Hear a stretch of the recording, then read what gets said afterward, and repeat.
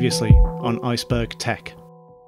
So, yeah, looks like the latest PC hardware releases are going to have the same shortages as consoles for the foreseeable future.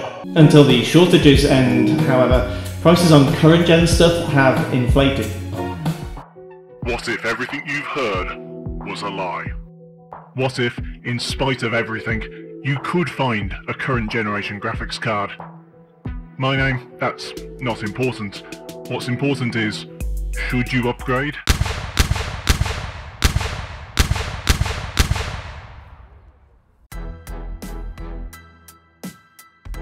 In my last video, I went about recommending a decent value gaming PC for victims of the scalper pandemic. Those who couldn't get either a new 9th gen console or the latest graphics card or CPU they wanted. I stand by this spec and would still recommend it to anyone in early 2021, but obviously, given the lack of new parts available right now, some corners had to be cut. What if, after having completed your build, you suddenly had the opportunity to pick up one of the latest generation of graphics cards at a reasonable price? What kind of benefits would there be? Would you be able to enjoy them, or would you find yourself held back by the rest of the system? In this video, I'm taking a more economical build, representing what I think is about the best value on the new parts market right now, and benchmarking it in a few popular titles from different genres. Then I'll be replacing the entry level GPU with an RTX 3060 Ti and repeating the tests to see if this allegedly £400 graphics card gives a decent performance boost or if it's being held back by the CPU. This time around we have a quad-core Ryzen 3 3100, just 8GB of DDR4 3000 RAM, an A320 motherboard that doesn't permit overclocking, and a GTX 1650 Super. In more sane times, a build like this could set you back about £450, though right now, what with COVID, Ethereum, and tariffs, it would more likely cost you one of your less vital organs, while I don't expect that many viewers will have this exact build, I think anyone with a hyper-threaded quad-core, say a i3 10100F, or an older 6-core like an i5 8400 or the Ryzen 5 2600 featured last time, along with an RX 470, GTX 1060 or similar GPU should see similar results. To start things off, I benchmarked a few games at high quality settings in 1920 by 1080 to see how this build can handle them. While I'm not at the most demanding parts of The Witcher 3 here, uh, I am running at high quality settings minus hairworks, and as a result, I'm seeing a pretty acceptable average of 75 FPS with frequent dips below 60.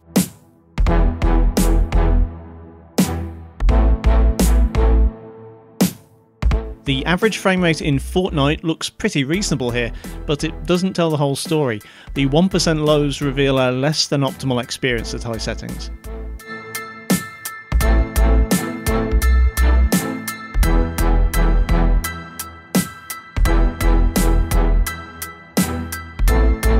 Resident Evil 3 at high settings looks great, but the frame rate is pretty low, with averages below 40 and lows in the mid 20s.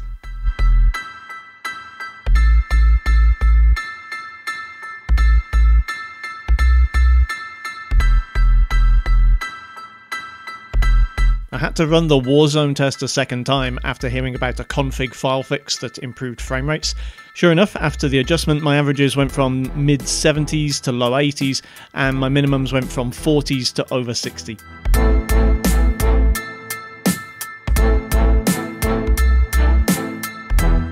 Rocket League is absolutely as smooth as butter on these settings, and this is one of the few times I'd say owners of this spec PC wouldn't need to compromise much on quality settings.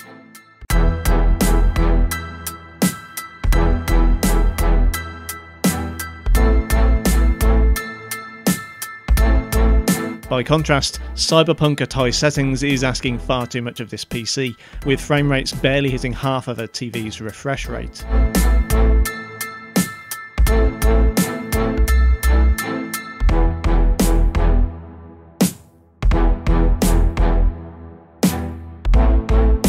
Players using normal HD monitors or TVs shouldn't have to compromise at all on quality in Apex Legends, with FPS sticking above 60 almost all of the time.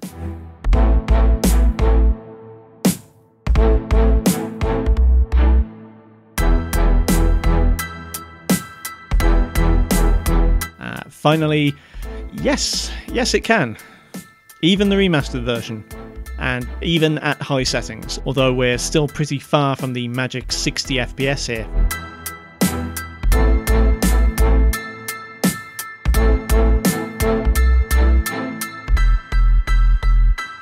By switching out the GTX 1650 Super for an RTX 3060 Ti, we're not only doubling our VRAM, allowing us to use higher resolution textures, but also gaining a newer, more powerful and efficient architecture that supports NVIDIA's ray tracing and deep learning supersampling technology. If these terms are new to you, I'll sum them up. Uh, ray tracing means supported games can have more realistic lighting, shadows, and reflections. Deep learning supersampling runs supported games at lower resolutions and upscales them using AI deep learning tech, meaning you get the faster frame rates of a lower resolution but with the minimal loss in apparent image quality. Ignoring this fancy proprietary tech, and ruining my chances of getting sample cards from Nvidia in the process, how much extra performance can be had by simply upgrading the GPU?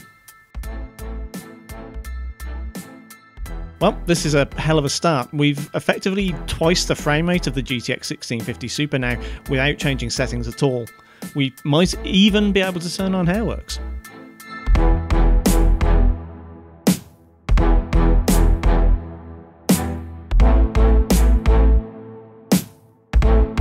This is another huge jump in performance. Uh, there's definitely still room for improvement as the minimums creep a little lower than I'd like. This may be something that more RAM or a better CPU might account for, but for one single upgrade, this is a big improvement. Now we're talking. RE3 still looks amazing, uh, but now it's also incredibly smooth, never really dropping below 60 FPS.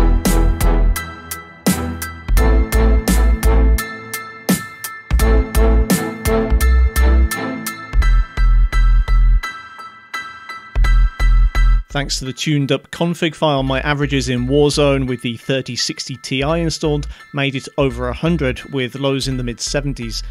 It's not the most impressive boost over the 1650 Super, which, from what I can tell, seems to be a bug. Several other gamers are reporting being stuck at about 110 FPS using 3000 series cards, despite them theoretically being capable of much higher frame rates. I may have to revisit this another time after some driver updates. Not that the 1650 Super was lacking, but if you happen to have room in your budget for a high refresh rate monitor, Rocket League will stick pretty close to the 250 FPS cap almost all the time. I'm told it's possible to remove the cap, though I couldn't get it to work.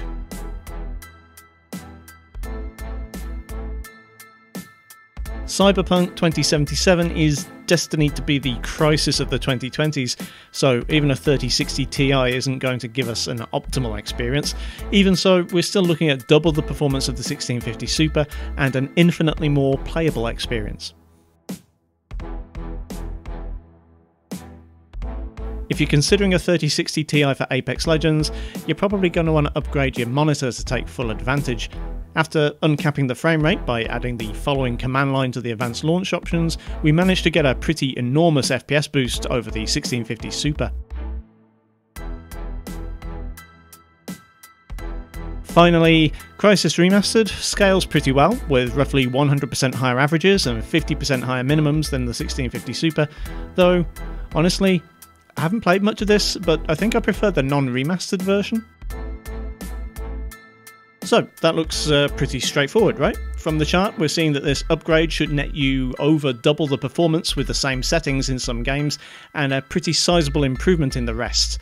However, this isn't the complete picture. I kind of stacked the deck in the RTX card's favour by using high settings.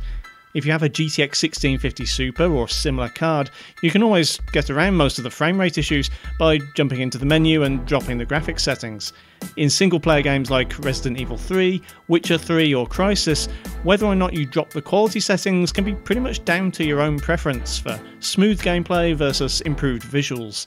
In faster paced competitive games, turning the settings down in order to gain a competitive advantage is pretty much a no brainer.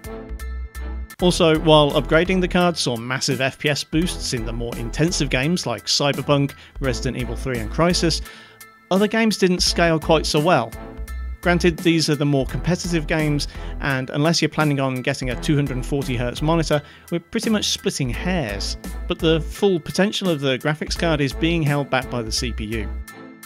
The motherboard in this system doesn't support the newest Zen 3 CPUs and it can't be used for overclocking. So, alas, the only options available would be to change out the CPU for something with a higher core count, like, for example, a Ryzen 5 3600X or 3700X, or to swap the A320 motherboard for a newer model, paired with something like a Ryzen 5 5600X or an Intel i5 10600KF. So, too long didn't watch version. Is upgrading your entry level graphics card to an RTX 3060 Ti worth the money? If you have a CPU equivalent to or better than a Ryzen 3 3100, you should get a significant jump in performance over virtually any entry level or previous generation high end graphics cards. If you have an older CPU, like an older quad core Intel i5 or early Ryzen 3, you might find the performance benefit not quite as substantial. Let me know if you'd like to see this card in a lower end system in the comments. This GPU is currently in my main gaming and editing PC, and I do plan to make a follow up video soon where I compare the results from here with those of a Ryzen 5 5600X. Hit the notification bell to make sure you don't miss that one. If you found the video useful or entertaining or at the very least mildly distracting, consider donating to my Patreon, linked in the description. I managed to get through the whole video without using the word bottleneck, so that's got to be worth at least a click of the like button. Thanks for watching, kindly do the usual YouTube things if you feel so inclined, and I'll see you next time.